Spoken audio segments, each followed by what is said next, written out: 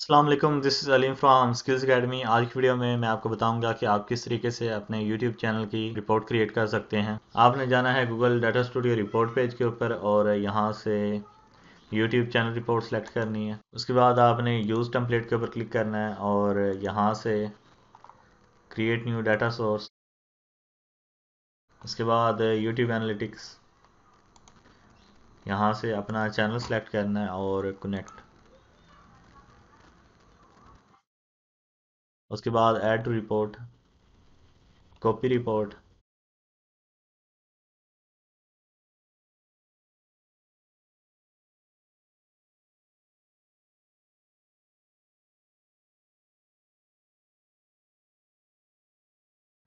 यहाँ पे अपने चैनल का नाम लिखें।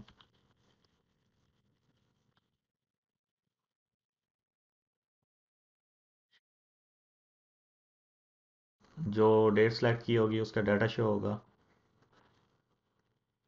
यहाँ पे आप देख सकते हैं व्यूज़। और उसके बाद एवरेज वॉच टाइम।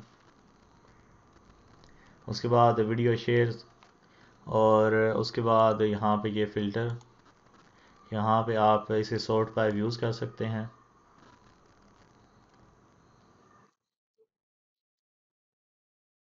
या फिर सॉर्ट बाय वॉच टाइम। या शेयर।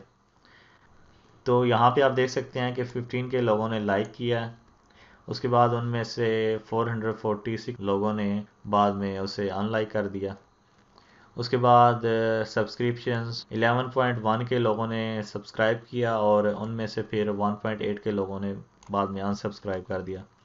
टोटल इस टाइम जितनी भी वीडियोस हैं, उनके ऊपर 655 डिसलाइक्स हैं, जिनमें से 173 लोगों ने बाद में उसे अपने डिसलाइक को रिमूव कर दिया था।